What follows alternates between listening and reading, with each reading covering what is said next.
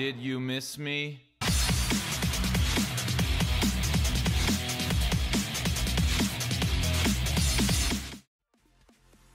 Chapter 617 Return of the God starts with a great color page of Aizen bound up, then we pick up with Ukitake being affected by the Kamikake. So much pain! The essence of Mimi Hagisama is now pouring out of every part of his face. I'm disgusted and repulsed, and I can't look away. We then see the arm leaving Soul Society heading for the Soul Palace. Goodbye, everyone. I'll remember you all in therapy. At that moment, the quaking begins to stop as it appears Ukitake has successfully replaced the Soul King. I have no strong feelings one way or the other. Cut to Bach, who doesn't understand the meaning of this sudden halt. Frankly, neither can Ichigo and his crew when they see what caused it. Now that's interesting. Mimi Hagisama is now holding together the broken parts of the Soul King, restoring balance to each of the worlds. You have no power here. Bach can't believe that something like this could escape his eyes. This causes him to get a tiny bit mad at the Soul King. You're happy. I hate that. He wants to know why the right arm of the Soul King is interfering with his plans. Is it because of his attachment to the Soul Society? He demands an answer out of him.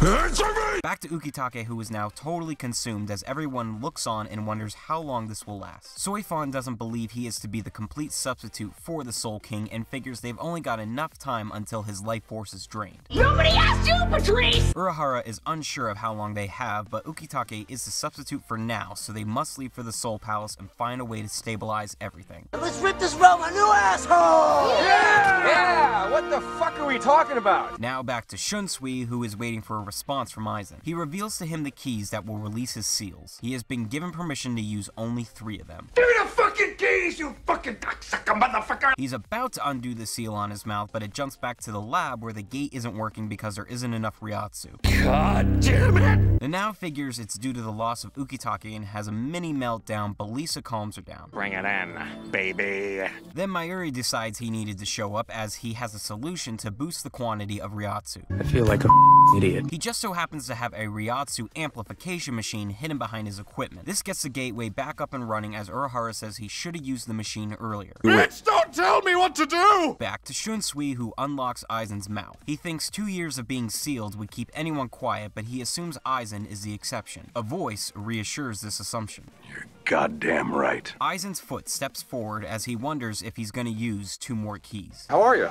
I normally don't answer that question, but since I respect your talent, I will tell you, I am fine. Good chapter this week with another awesome cliffhanger. Huge chunk of it was mostly dedicated to everyone reacting to Ukitake taking the Soul King's place, as well as trying to fix the gateway. The second part felt really unnecessary. Like, oh shit, we've run out of Reiatsu. Don't worry, Mayuri's got a machine that amplifies it. Neat. This could have been an opportunity to have other characters that aren't the Visors to make their return and help with their Reiatsu. But it looks like now everything and everyone is ready and pretty soon they'll be going to the Soul Palace. Once there, I think obviously some of them will fight while others will try to help with replacing the Soul King because it was stated Ukitake won't be permanent because of the Kamikake using up his life force. I'm sure Mayuri and Urahara will have some plan. Yes, science! Now the stuff with Aizen was short, but easily the best thing about the chapter. Shunsui's showing off dozens of keys that are keeping him locked up and he can only use three. Uses one and fucking Aizen has the power to undo the rest. The man is such a troll, but he's amazing. I really wish the chapter focused on them more, especially since Aizen was the title color page, but even with the little screen time he got, he still managed to make the chapter his with a small display of his power and face. Next week I want to see Aizen continue his trolling antics and fuck up shit once again.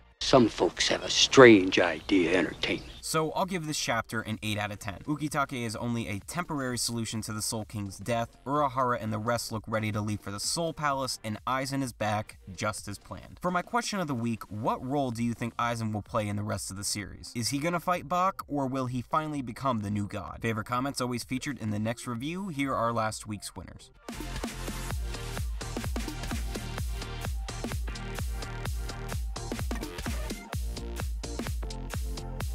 Alright, that does it for me. Remember to leave your thoughts on the chapter and answer to my question in the comments below. Like and subscribe for more weekly reviews, and don't forget to follow me on Twitter, Hummingbird, and DeviantArt. I'll be back next week with more Aizen and Shunsui. Peace!